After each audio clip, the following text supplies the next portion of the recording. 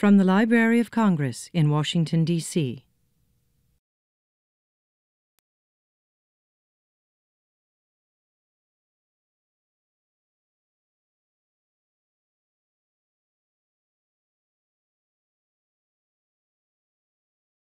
Hello everyone, welcome to this video where we're going to try to address the questions everybody is thinking about but perhaps afraid to ask about the differences between AACR2 and RDA. My name is Melanie Polutta. I'm an LC cataloger and a NACO trainer and was heavily involved in the RDA training effort that went on. My name is Paul Frank. I'm the acting coordinator of the NACO and SACO programs at the Library of Congress. So I feel pretty confident with authority work not so much with bibliographic work. So I'm going to ask Melanie to help me understand some of the things that I need to know about bibliographic description in RDA. Well, perhaps uh, we can start with one where you can answer the question because as an LC cataloger, I know that LC's policy is with old records that might be impacted by RDA. We're going to generally leave those alone. But is BibCo's policy the same? More or less. BibCo has always under op operated under the principle of respect others' cataloger's judgment. And that means, you know, leave a record alone unless it has a, an egregious error or you identify something that's totally wrong. I mean, we all have bad days cataloging, right? So we might do something incorrectly. But the principle of, of respect others' work, don't take anything away that a person's added, is sort of the guiding principle of BibCo. So it's, it's similar to, to LC. I think we're sort of, mm -hmm. LC is a BibCo member, right? So, true, so we're, true. we're operating under the same principles, but I think it comes down to that respect the work that others have done. True. Okay, so let's work our way down the record. Since we still catalog and MARC, I'm going to start at the top of the MARC bibliographic record with the 1XX field. So what, well, the biggest change, or perhaps the first and most important change to notice is this is no longer called the main entry. Change of vocabulary. Right. So what's it called now? Well, we call it the authorized access point, and you know, basically, it is a vocabulary change. What you're going to see in that 1XX won't be any different from what you would have seen under AACR2, but we do call it an authorized access point rather than a heading, and the field itself in the bibliographic record is not called the main entry any longer. Yes, I have to remind myself to say authorized access point because it is longer than the term main entry. So what would you say is the first change here from RDA that has affected the 1XX? Well, in general, I think you're going to be seeing a lot more 1XX fields in bibliographic records, and there are a couple of reasons for this. Um, one of the major reasons is the fact that RDA makes you think about or actually decide whether you're dealing with a, collaborate, a collaborative work called a collaboration or a compilation. So um, I, I, think you can explain the difference. True, I deal with them uh, quite regularly. So, you know, a compilation, uh, specifically of multiple authors, we automatically make the decision to have title, uh, not title main entry, title only authorized access point. I have to get my voc vocabulary correct. Very good, very good. If I have a compilation of a single author, well then I'm going to have an author in the 1XX. That's nothing new. But I think the difference shows up with the collaborations where it doesn't matter if you have just two authors or creators of some sort or 15. As long as you have creators, then one of them, the first named or the most important, is going to end up in the 1XX. And with AACR2, we did not necessarily do that when we had more than three. But we'll kind of get to that in a moment. Yeah, I wanted to talk about that. So uh, in addition to the decision you must make about whether you have a collaboration or a compilation, the fact that we don't have that rule of three is the other factor that's going to lead, I think, to more 1XX fields showing up in, in bibliographic records. So, um, well, that kind of leads us to the next yeah, field right away, the 240 and more importantly, the 245. 245 yeah. Because this is a, a hotbed of change. Right. What changes do you have? Well, let's use that first one. The rule of three is gone, so mm -hmm. that's that's the big one, or one of the big ones. Changes in the statement of responsibility, cataloger's judgment. Although we have other another module that we'll talk a little bit about cataloger's judgment. The GMD, general materials designation. languages in the 240 field, um, often including an ampersand between languages or the word polyglot, and then typographical errors. So maybe we should go through these in a little more detail. Yes. How about the rule of three? The basic rule of three in AACR 2 always said if you have three or more authors, then it's going to be title main entry. Now, this goes back to that uh, collaboration decision. If you've got three or more authors, RDA says first named or principal one goes in the 1XX. So that three or more element has just completely gone away. We are no longer limited by that rule of three. Okay. So how about with the statement of responsibility? Well, I tried to, to narrow this down to the two main points, and there are others. I want you to look at RDA and read the instructions, but the two big ones are generally do not abridge a statement of responsibility. Mm-hmm. Second one is if there's more than one statement of responsibility, only the first one recorded is required. Yes. So that's the distillation of the changes. Please look at RDA to find more information about those. How about the GMD? Well, the GMD in and of itself is gone. It has been replaced by other fields, but the GMD that's specifically in that H subfield of the 245, that specific subfield in the title statement, we don't record it there anymore. We replaced it with the use of the 336, 337, and 338 fields, which are the content, media, and Ah, carrier. Carrier. Thank you. See, I still have to work to remember them sometimes. I can't believe I knew that. you remembered it for me. And those three also work in conjunction with the 300 field, which is the specific material designation. So it's talking about if you have, say, a CD-ROM, that's where you're going to specify that is that particular type of format where the 336, 7, and 8 will be slightly more general because they are using a very restricted list of vocabulary terms in order to maintain a consistent presentation there. So those have replaced the GMD and really are, um, in some ways, really an improvement because the GMD mixed the carrier and content into that single element, and now we've split them apart into separate elements, which makes them more um, separately searchable for the computer in the long run. Very good, very good. So, how about those languages? Well, interesting uh, follow on because of mixing, the, the, mixing that Melanie just mentioned. I'm sure you've all seen a 240 field in a bibliographic record that has a title followed by a subfield L with the name of one language and then an ampersand and the name of a second language. Or you've probably seen a title followed by a subfield L with the word polyglot. Well, those are not valid. Neither of those is valid under RDA. Well, why is that? Because under the FRBR conceptual model, which also which has influenced the way RDA has is developed or is created, a language, the language of a of a title is an um, indicates an expression, not a work. It's so so it's an attribute. That's the word I was looking for. It's language is an attribute of expression.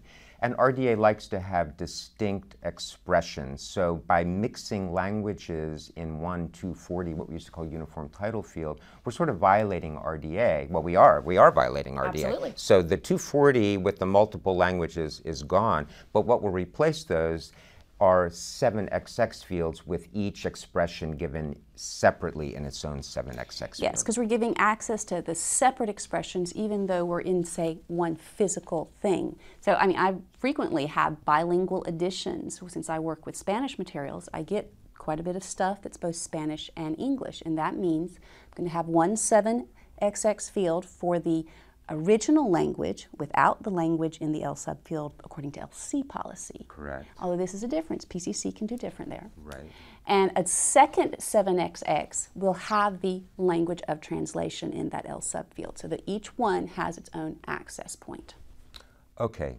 Typographical errors. What are we doing about those now? Well, this really goes back to that principle of representation. And this goes back to the transcribed fields where if you see it, then you record it as you see it. No, not record, that's not the right word. Transcribe, Transcribe. it as you see it. I'm studying the difference on this too. so that means if you see an error in that title statement, you record it as you see it. Now, used to be AACR2 used those Latin abbreviations, uh, IE in brackets with the corrected form of the word, or SIC to indicate, ah, here's an error.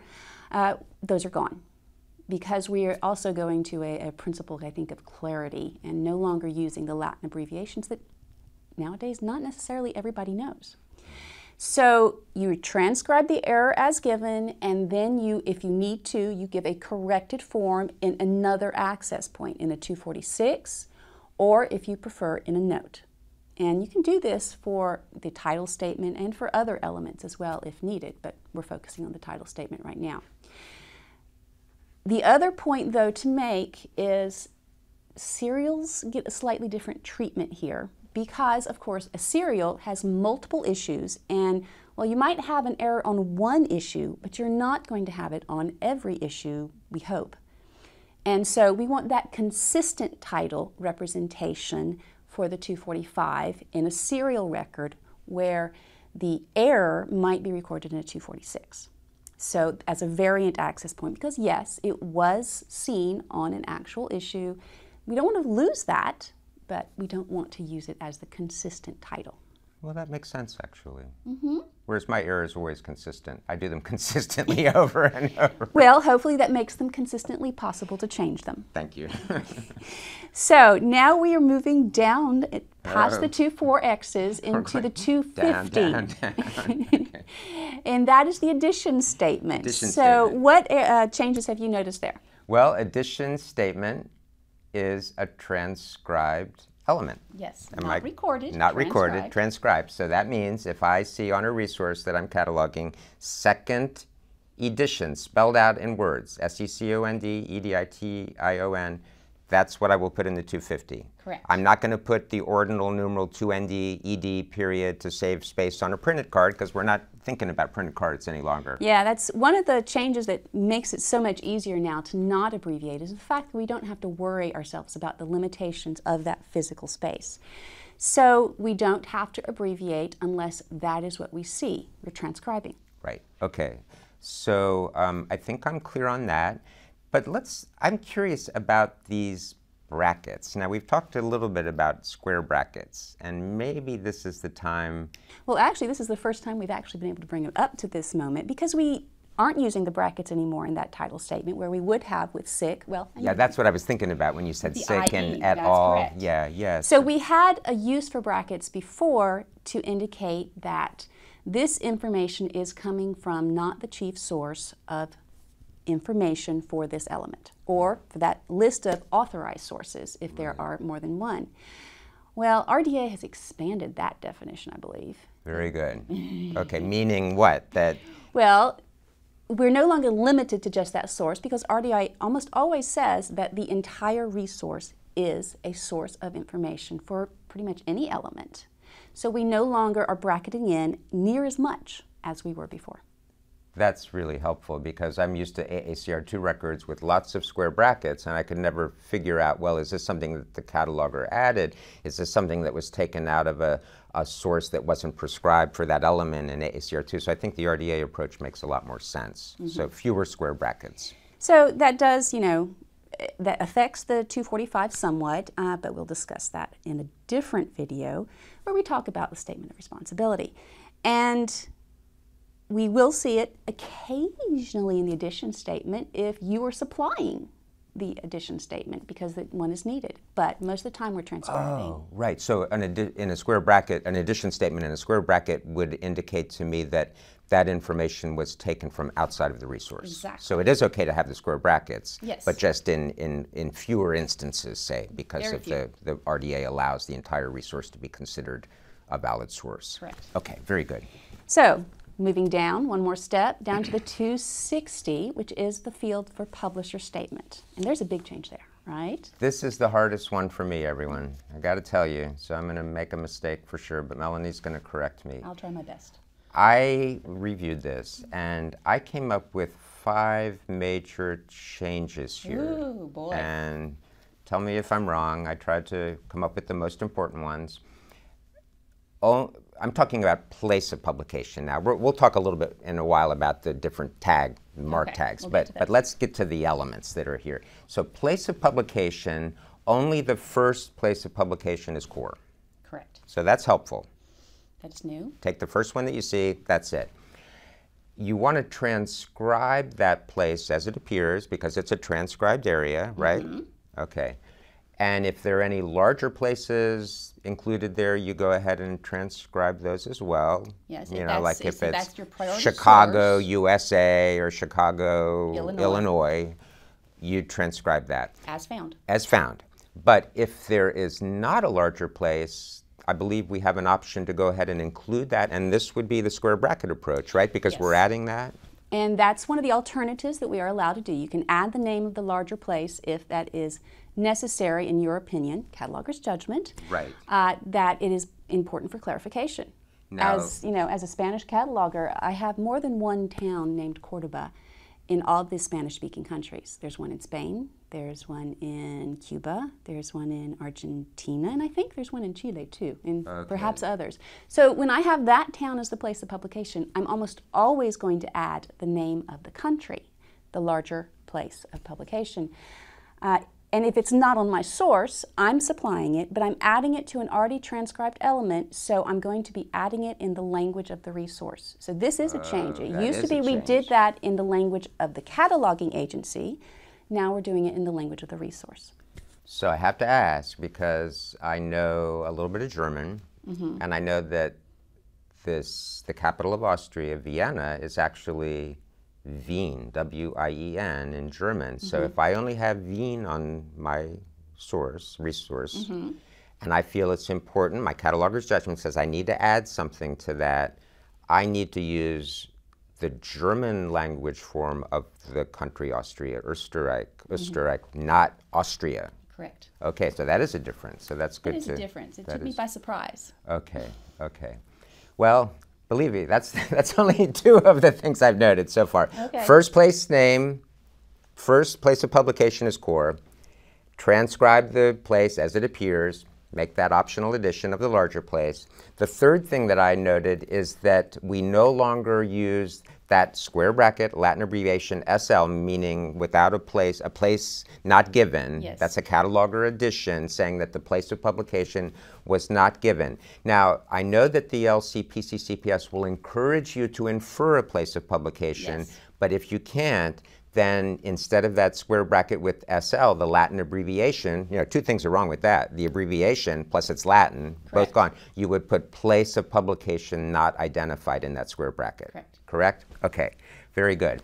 The fourth thing I noticed is that we are not abridging publishers' names any longer, and it goes back to that, Abbreviation policy. Right. We are no longer ab- using the or abridge, abridging. I guess abridging would be the word. Like if it says publishing instead of, I would not put PUB automatically. abbreviation. Oh, that's abbreviation. Okay, right. Sorry, sorry.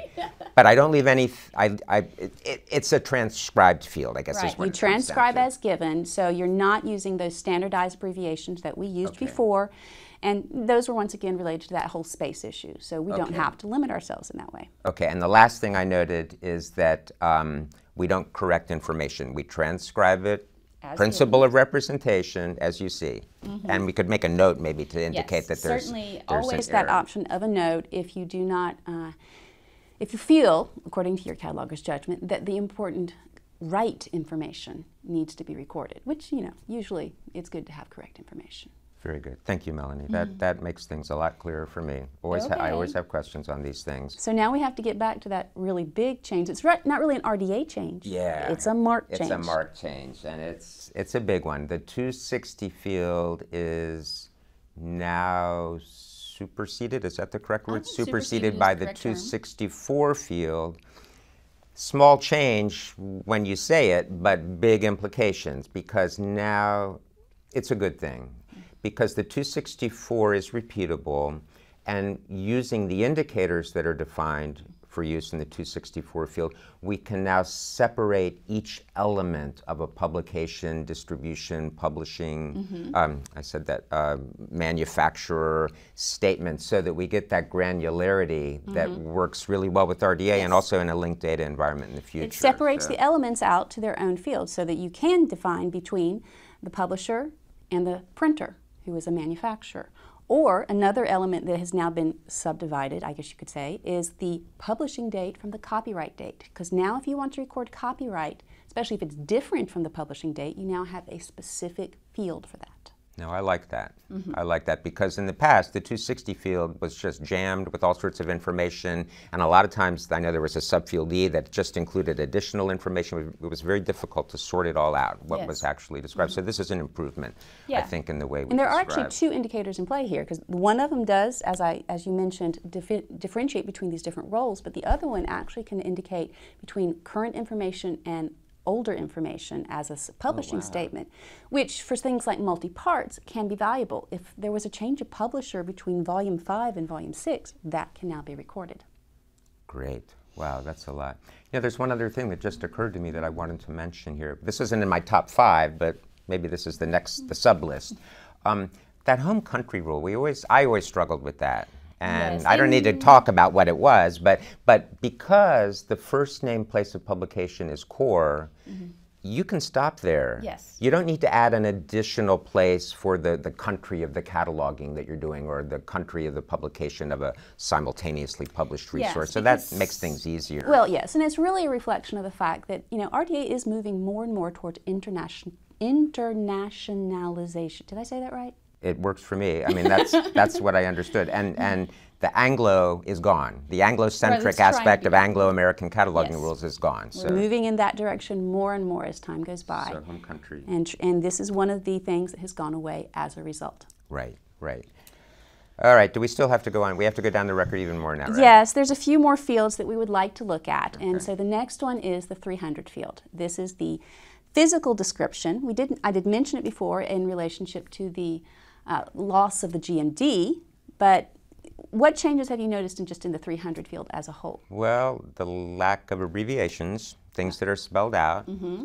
Although I learned from another video that I watched that sometimes you will see abbreviations used, um, but those are authorized, those are exceptional, author, mm-hmm. authorized um, abbreviations according to, to RDA. But for the most part, the 300 field will no longer include um, P, period for pages. Pages will be spelled out. V for volumes. V for volume. You won't have the, was it U-N-N-U-M for unnumbered? You're now going oh, to wow. spell that out. Okay. That does mean they get longer, but once again, we're not limited by space. Illustrations is spelled out, colored is spelled out, um, all these other terms that have to do with that physical description. Now, I'm mainly focused on book terms. There are other ones, of course, that um, come into play can't list them off the top of my head because I don't use them enough. Right, right. But you know where to go to find the answer the when, you, when you have it. Yes. Okay. Now, what about the CM? Do we need to bring that up again? Everyone talks well, about the CM. Let's just say the period doesn't have to do with the abbreviation. Okay. We're not abbreviating the CM. We're just following ISBD punctuation.